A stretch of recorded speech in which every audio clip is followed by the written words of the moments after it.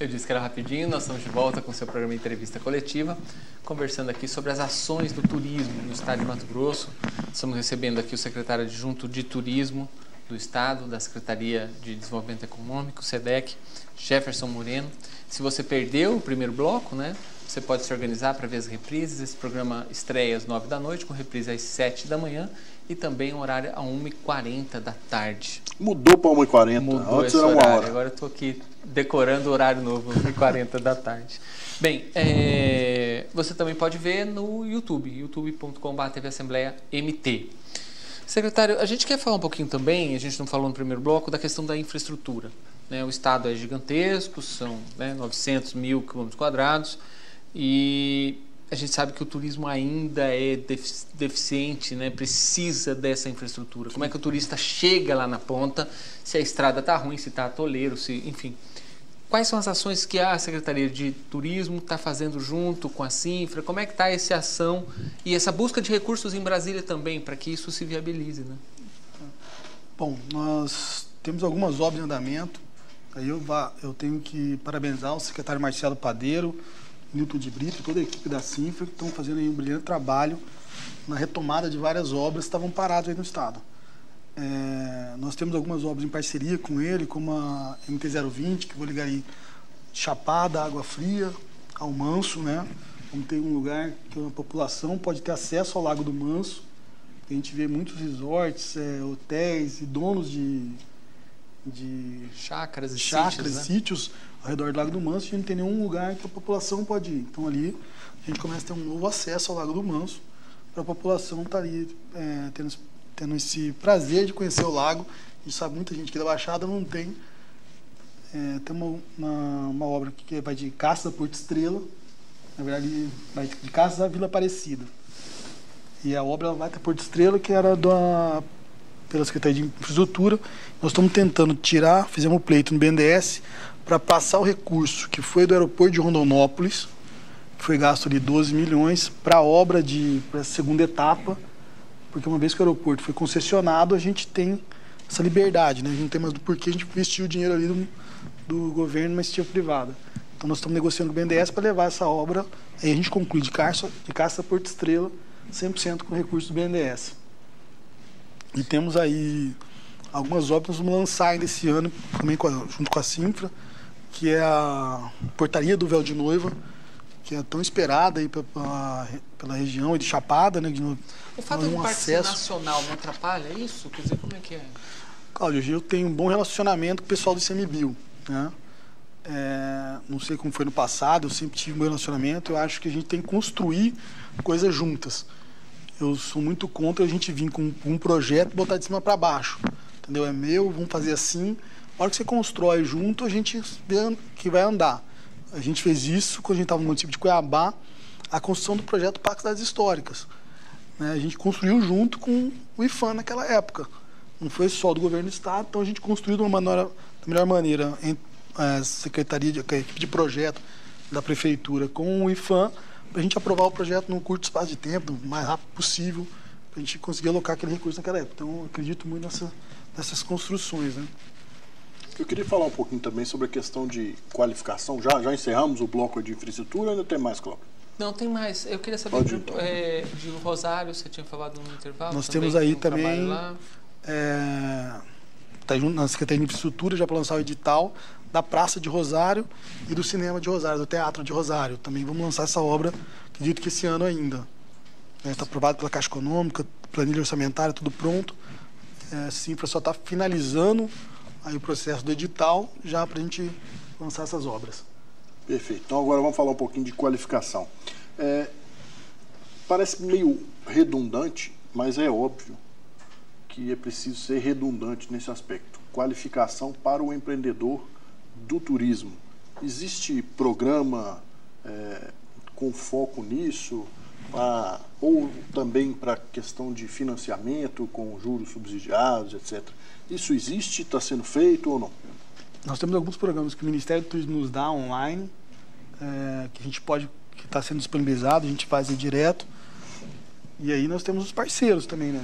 SESC, Senai, SESI, Sistema S, está nos auxiliando em muitas dessas, dessas partes de qualificação.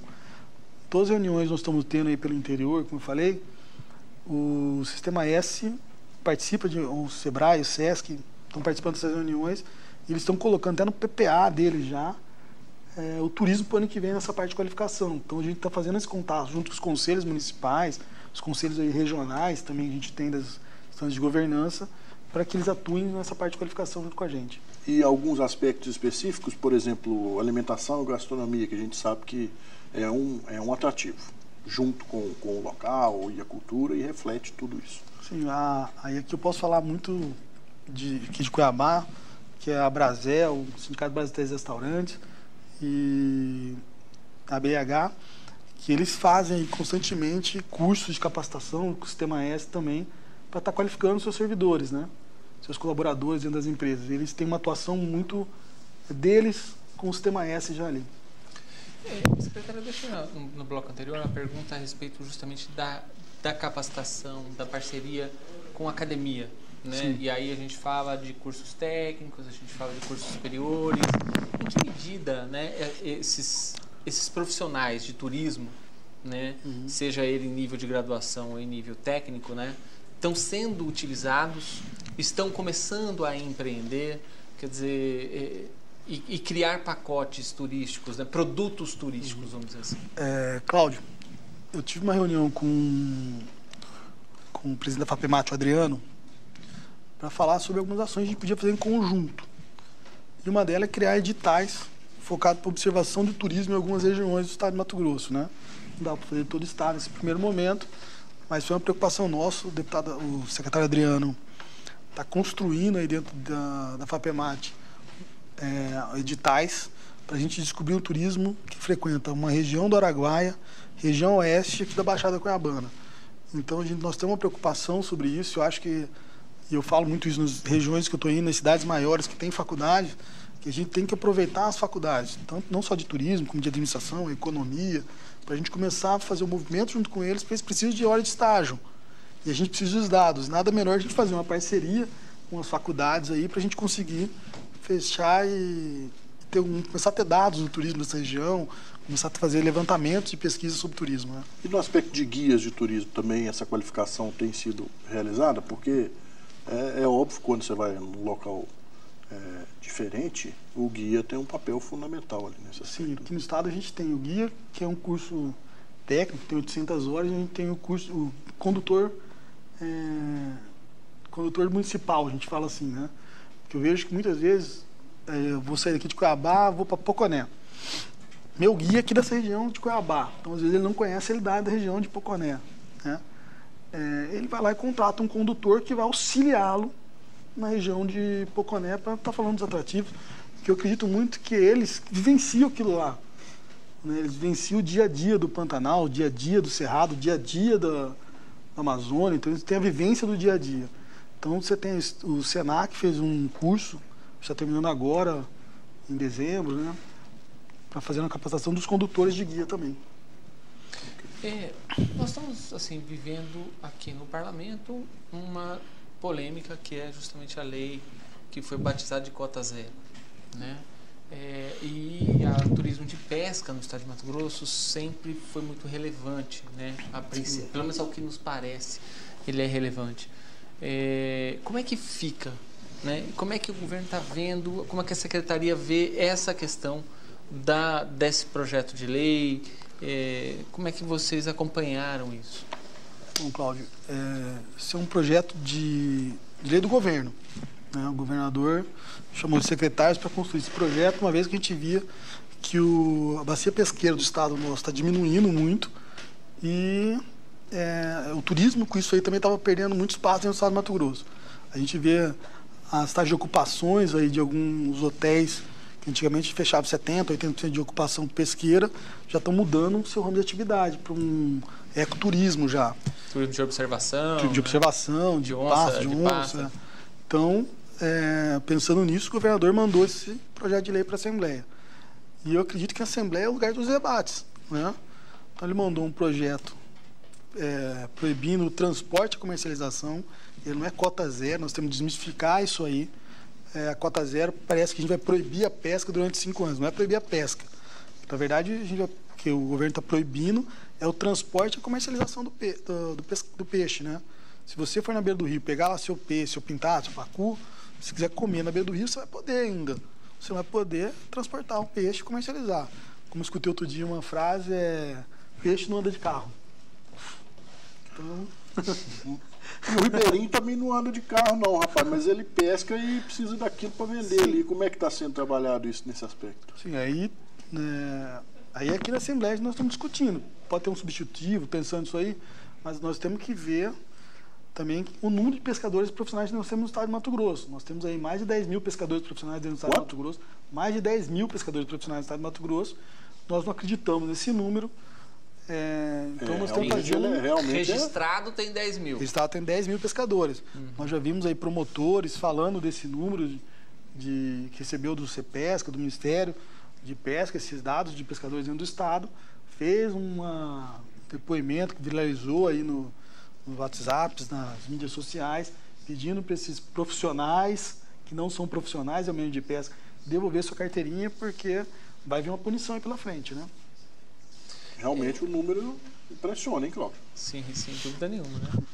É, a gente são profissionais que muitas vezes não vão buscar lá o seu seguro defeso, né, que se diz assim, né? Sim. Que é, que é a época em que é, teoricamente eles não teriam como comer, né? Porque a piracema, etc e tal. Eu acho que é uma boa referência, né? Sim. Se a pessoa não vai buscar o recurso que teoricamente ele tem direito, em tese não é bem aquilo que é a atividade profissional dele, né? Com certeza. Quer dizer, já dá para a gente começar a fazer uma peneirazinha por aí, né? Uhum. É, uma coisa que nos chama atenção, seja no governo federal, seja com o governador Mauro Mendes, é justamente essa aproximação maior com a iniciativa privada.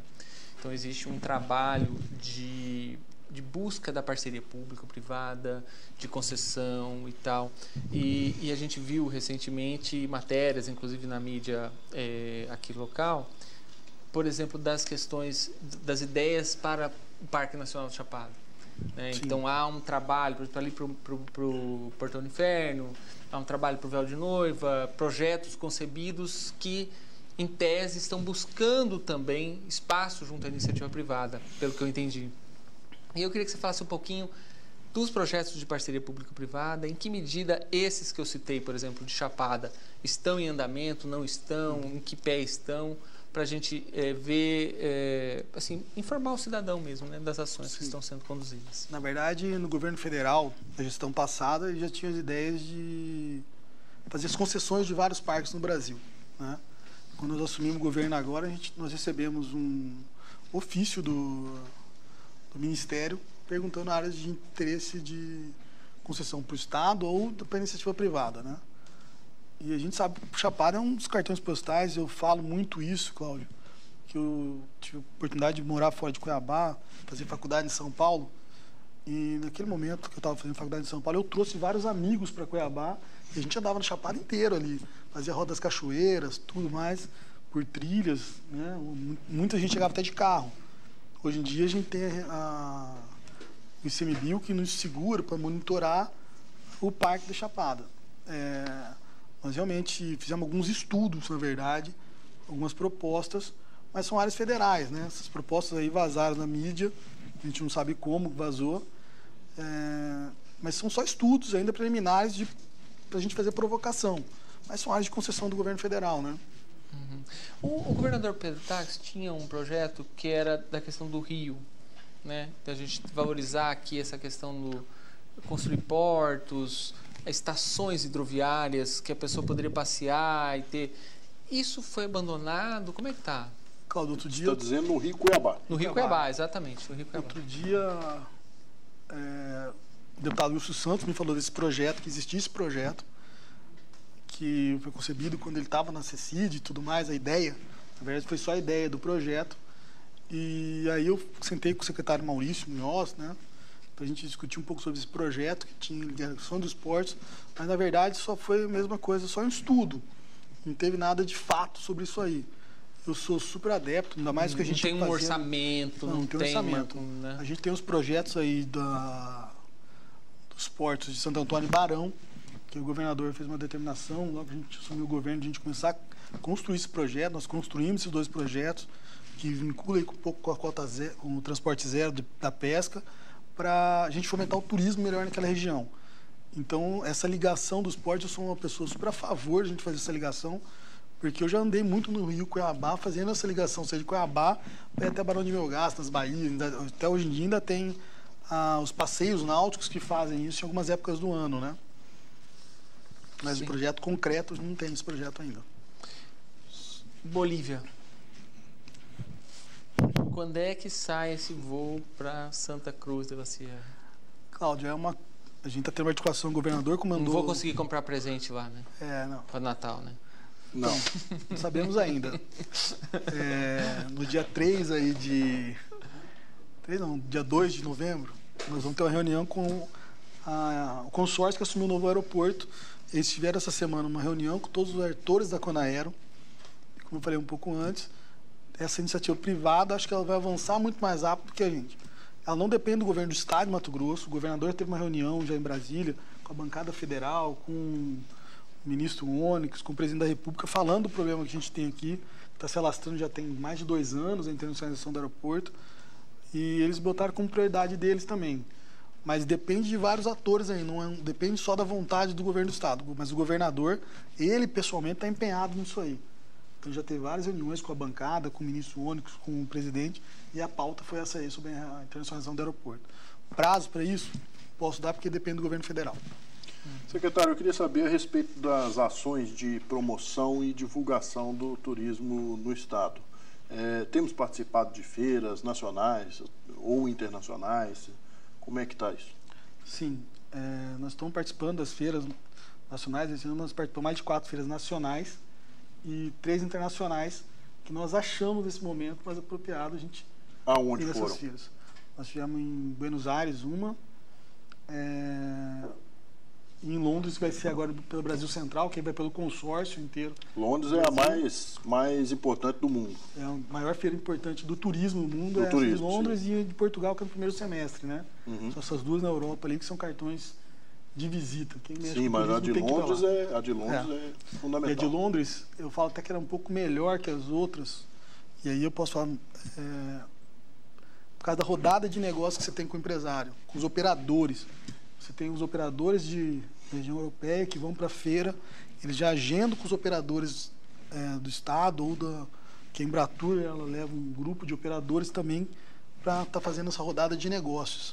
Como é que o essa- empresário ele pode participar desse processo? Porque o, o governo vai enquanto instituição, assim, institucional, né? Eu estou divulgando o Estado. É, vai divulgar o Brasil e aí vai e aí divulgar o, Estado de o Mato est- Grosso. vai uma comitiva divulgar o Estado de Mato Grosso. Mas como é que o empresário pode eh, fazer parte desse processo para também abrir espaço para ele, né? Enquanto sei lá, o próprio Malai, ou Penhasco, ou sei lá, o Cristalino e tantos outros hotéis que nós temos em Cuiabá e, e- e em Mato Grosso, né? Uhum. Para abrir espaço para eles também. Cláudio, na verdade, sim, tem feiras e feiras, né? Tem feiras que eles querem falar com o público final, que são esses donos de atrativos, e tem feiras que não, querem falar só com operadores, que é a pessoa que vai operacionalizar no Brasil, falando na feiras internacionais. É, a Embratur, que faz o cadastro, manda pra gente, vamos por essa feira de Londres, agora nós vamos pelo Brasil Central, a Embratur está levando quase muito pouco operadores do Brasil. Está sendo mais os estados que estão fazendo a, a ponte com ele. E aí eu falo muito sobre isso, que eu, sobre o cadastro, que é o cadastro do turismo. É, agora que eu vou pegar o cadastro se você é um operador lá de Londres, você fala assim, quais são os operadores do seu estado? Eu vou entrar no cadastro, clicar lá, pego os quinais, tem do cadastro e te dou a relação desses, das empresas que estão no Cadastro Nacional do Turismo. Né? Então eu falo para todo mundo reuniões, estou fazendo também a importância de você estar sempre com seu cadastro do turismo regular, porque ele é igual carteira de motorista, né? Hoje à noite ele venceu meia-noite, amanhã você está fora do sistema. Então você tem que ficar se policiando, o empresário tem que ficar se policiando para estar com os cadastros aí em dia. E aí entra muito aquilo que você colocou, Cláudio, de, de já chegar lá com o produto turístico formatado, empacotado mesmo, para vender a questão. Sim, por causa da ação do Invest Turismo, É, nós tivemos agora uma rodada de negócio com as cinco cidades que a gente tem aqui, que é Cáceres, Poconé, Nobre, Chapada e Cuiabá. Fazer um circuito aqui, ó. É, nós temos esse circuito aí, essa rota estabelecida que foi pelo Turismo. Nós fomos para São Paulo agora, começo do mês de outubro, com os empresários. Aí nós mandamos um e-mail para os operadores, para os atrativos, alguns responderam, outros não. Nós levamos os empresários para sentar com os operadores de São Paulo que vendem Brasil e exterior para estar tá fazendo rodada de negócio. Eu acredito muito nesse sistema, muito melhor do que feira. Esse sistema ponho negócio com negócio. Então eles fazem o negócio junto ali para estar tá divulgando mais. Então a gente fez uma apresentação aí do estado de Mato Grosso, fiz uma, uma explanação sobre todo o estado de Mato Grosso, onde gente tem os atrativos e focamos nessas cinco cidades que são do Invest Turismo. Né? Só fazer uma última pergunta, eu sei que o tempo está esgotado aí já, mas eu queria saber a respeito da questão de, dessa política de isentar vários países de visto para virem aqui. Qual a opinião? É, eu tenho uma opinião muito boa sobre isso. A gente vê que a burocracia do visto é muito demorado, né? Então, acredito que agora a gente tem que fazer uma campanha é, nesses países que estão sendo liberados os vistos, e aí quem sai na frente bebe água limpa, né? Para estar tá fazendo essa disposição do Estado do Mato Grosso nesses países, para a gente começar aqui captar esses é, turistas que estão vindo. Bom, nós infelizmente já chegamos no fim, já demos uma estourada no tempo aqui. Eu queria só deixar a palavra aberta. Uma consideração final, algo que a gente não perguntou, você acha importante dizer? Fique à vontade. É, um para seguir nosso Instagram, Descubra Sim, Mato Grosso. Descubra Mato Grosso. Arroba Descubra Mato Grosso. Arroba Descubra Mato Grosso. É o Instagram do governo, da Secretaria de Turismo, porque a gente está mostrando um pouco os atrativos que a gente tem no estado do Mato Grosso, mostrando as ações, o nós estamos passando. Tem uma parceria muito boa com alguns influenciadores digitais que a gente fez esse ano, sem custo nenhum. Estamos aí grupo de oito influenciadores digital que foram em atrativos turísticos para estar tá divulgando esses atrativos turísticos. O governador Mauro Mendes ele tem uma visão muito clara do turismo, é um empresário, empreendedor, então ele nos dá algumas missões aí para a gente avançar muito no turismo, mas muitas vezes barra nos dados. Quando ele me pergunta algum dado do turismo, ele ou o secretário César, esses dados ainda são muito carentes para a gente. Então eu peço, é, eu peço, estou conversando com todos, a importância desses dados para o turismo para a gente avançar mais no estado do Mato Grosso. Grato, secretário. Grato, Francisco. Obrigado, Cláudio. Obrigado a você que nos acompanhou. Só lembrando, Cláudio, o que a gente faz aqui como emissora pública é tratar de temas de interesse público. Esse é muito público. Eu queria só finalizar antes, Cláudio. Francisco, queria que você falasse um pouco sobre esse, esse brochezinho que está na sua lapela. É isso aqui é um lacinho colocado. Eu vou pedir até o câmera para dar um zoom aqui. Ó. É um lacinho que eu faço questão de usar em todos os programas com as cores laranja e azul do pessoal da dislexia. É uma conscientização que eles estão fazendo a respeito da dislexia. Não, entrevistado virou entrevistador. Gente, grato, né? Lembrando a vocês que a TV é isso, é uma TV de interesse público, uma TV pública que busca o interesse público, né? Que leva assuntos de qualidade, que pode fazer diferença no seu dia a dia. Esse programa você vê às 7 da manhã, às 1h40 da tarde e a estreia às 9 da noite. E também no YouTube, youtube.com.br TV Assembleia MT. Entra lá, arroba Descubra Mato Grosso e vamos descobrir Mato Grosso todo mundo junto. Né? O Estado agradece e a sua alma também. Né? Fiquem com Deus e até a próxima. フフフフ。